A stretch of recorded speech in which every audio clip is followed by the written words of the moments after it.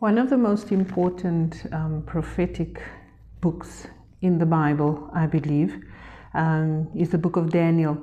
The book of Daniel speaks a lot about um, what happened in the past, the times that we are going through now, and then it speaks on the um, future events to come. So if you are ever stuck in a place where you think that the world has stopped and God has forgotten us, God has neglected us, just go to the book of Daniel and try and read it with the understanding and the illumination and inspiration of the Holy Spirit. And God will open up and reveal to you what He has shown Daniel in his visions, in the vision that He has showed King Nebuchadnezzar in chapter 2. He goes on to show Daniel visions in chapter 7 and 9 of what is to come of this world. And so, where we find ourselves in here has been uh, where we find ourselves in the situation, world events, um, all the circumstances, everything that's taken place has been prophesied um, and shown to Daniel in visions by God. I'd like to start with an introduction to the book of Daniel. It's only fair that we understand the times that Daniel was in. Um, they were Israel were taken captive by Babylon. The Babylonian Empire invaded Jerusalem and um, conquered them, took the Israel boys and um, Israel men into slavery to work for the king. You will read in chapter 1, it says there, In the third year of the reign of Joachim, king of Judah, Nebuchadnezzar, the king of Babylon, came to Jerusalem and besieged it. And the Lord delivered Joachim, which was the king of Judah, into his hands, along with some of the articles of the temple. And these were carried off to the temple of his God in Babylonia, and put in the treasures of the house of, God, of his God.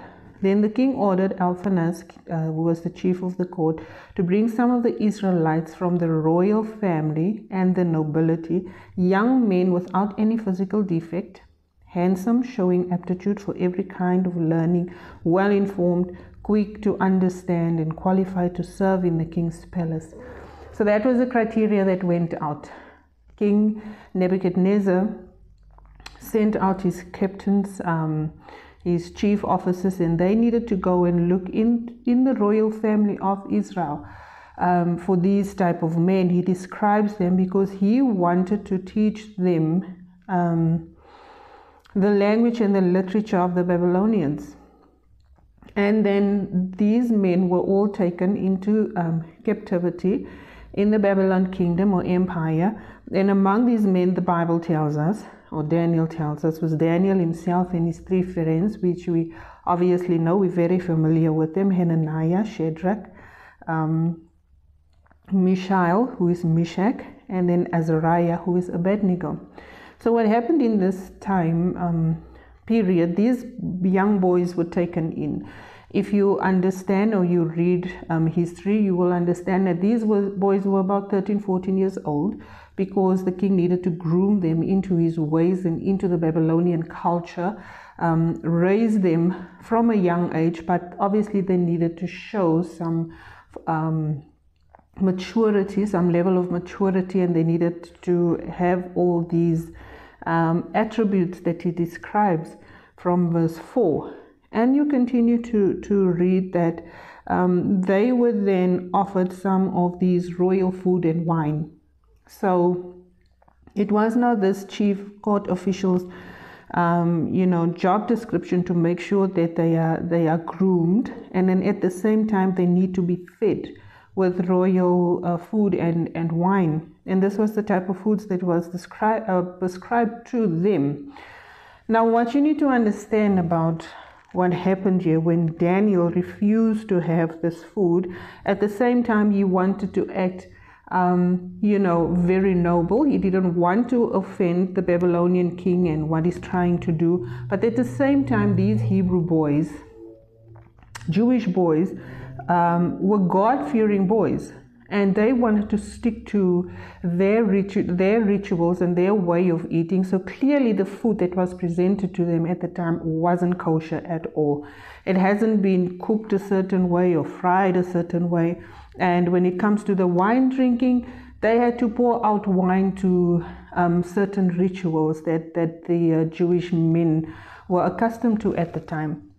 So Daniel and these three boys obviously had this discussion. You know, we cannot defile our bodies um, with food that is not kosher. Um, and so you know they spoke to the to to to the chief official and he approached him and he said to him well look um, you know we cannot indulge in this type of food it's against our culture as jewish boys and we would like to just have some vegetables if you continue to read serve it to, to, to us for 10 days. Let's just have 10 days and then you know with water we'll just we'll just eat vegetables and we'll just drink water. And then you can compare our appearance to the other guys.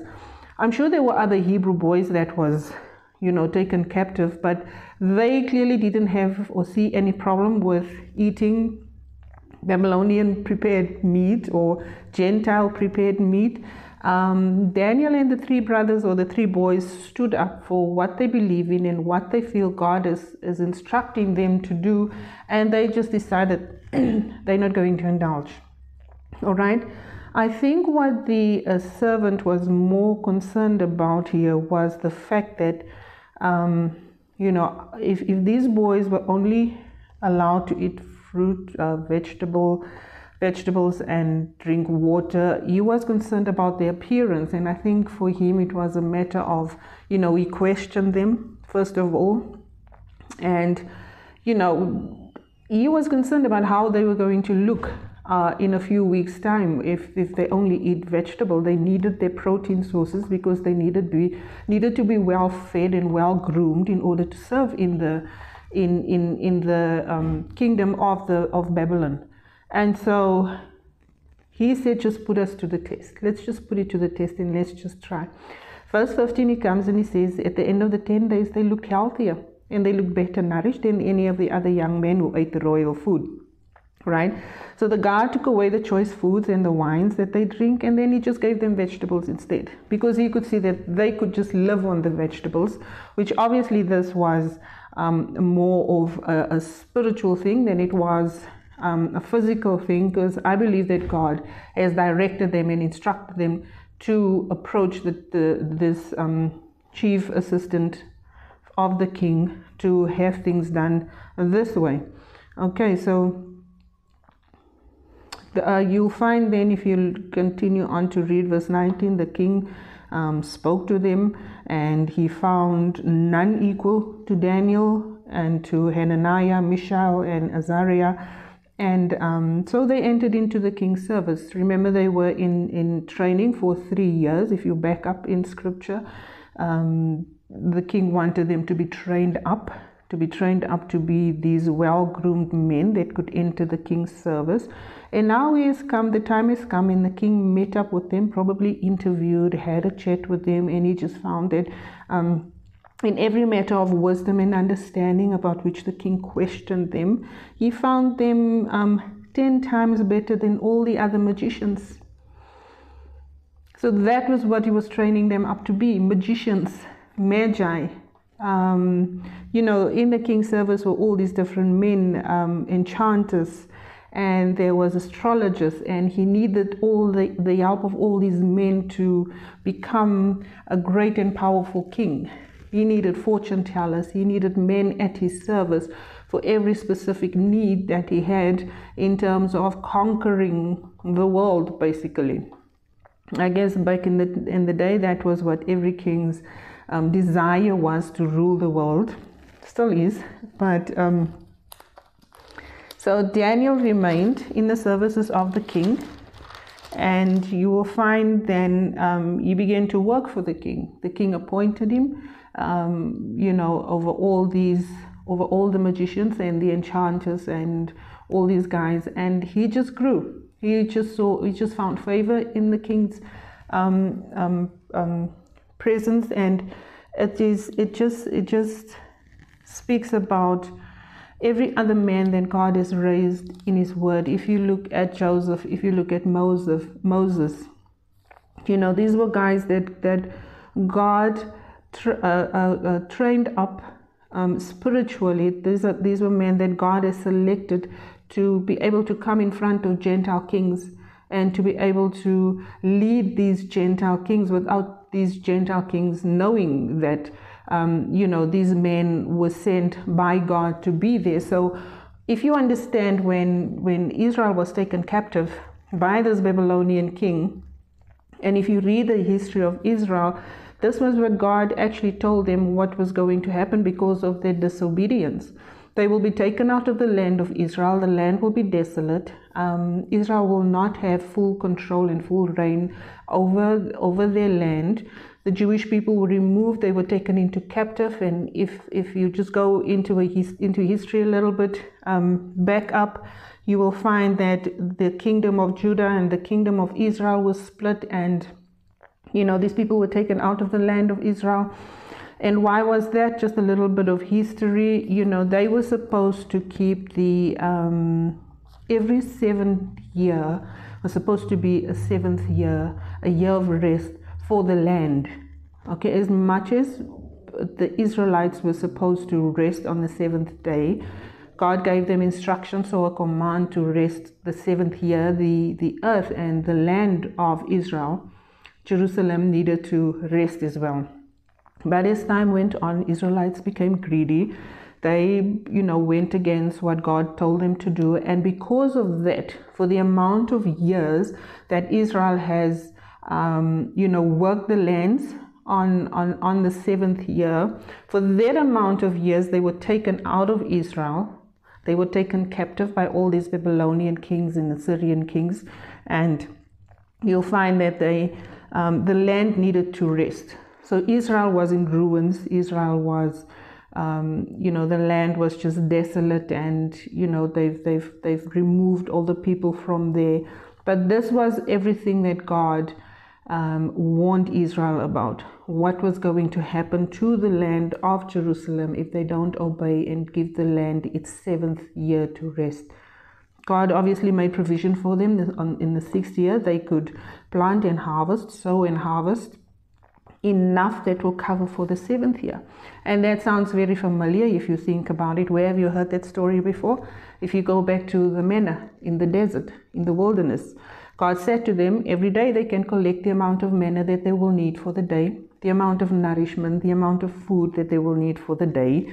And then they didn't have to keep any, any leftovers for the following day. But when it comes to the sixth day, God actually instructed them that they can take enough manna to, to, to um, carry them through the seventh day. Because on the seventh day, which is their Sabbath day, they needed to rest and they need not go out and um, go and collect the manna and the amount of food and go and work the grounds or whatever it is that they needed to do. So once they were into the promised land, that still stood that they had their Sabbath rest, their seven day rest, However, then God instructed them that the land needed to rest on the seven days.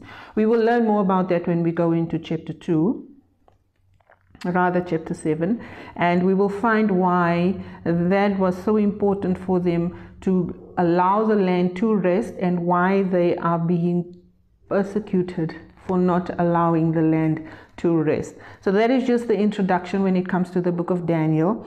I will uh, I will tackle the rest of the chapters in due time, but I hope this will just give you a brief understanding of um, how Daniel got into Babylon and how he became uh, one of the uh, chief officials or overseer of all the Magi, and that is that was his work. He was a prophet a prophet that God set out to use, and at the same time, a prophet that this Gentile king could use. You will find that in the in the Bible, a lot of Gentile kings reach out to Jewish men for uh, interpretations of their dreams and their visions. They get stuck with a, with a certain, um, you know, trial or test, and then Joshua would come, and Joshua would give the uh, Pharaoh you know a plan of action. This is what we have to do. You know if you're going to have your seven years of of um, uh, drought and whatnot we need to take these steps and those steps. And you know god would use these uh, hebrew men then that he would send out into the world. And this is one of one of the way God institution, instituted missionary work. Because Israel was the chosen people and God revealed himself to Israel, he would then use these Israelites, like he did with Daniel, in the land of Babylon, in, in a Gentile land. And um, there's a lot that we will uncover in the coming chapters to show where um, God has actually begin to begin to minister to Gentiles um, when we continue to read. But for now, that was the introduction, and I hope that you will tune in again when we get to chapter two.